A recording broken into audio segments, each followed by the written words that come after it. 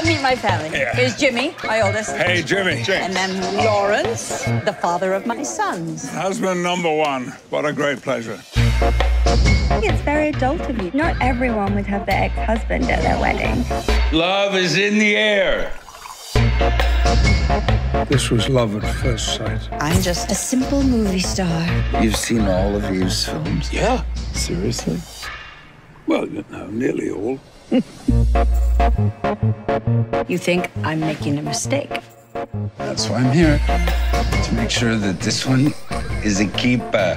You are so thoughtful, as if you'd have any idea what a keeper was. Jimmy, you there? Sorry, what? Homemade chocolates? They're in the shroom family. Mmm. Oh, hey! Hey. Okay, that happened.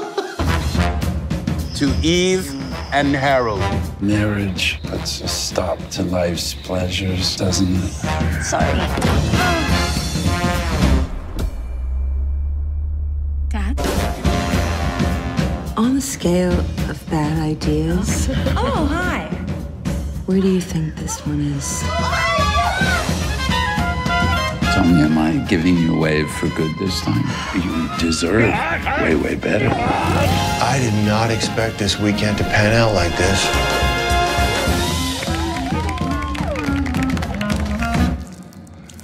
Lawrence, my sofa!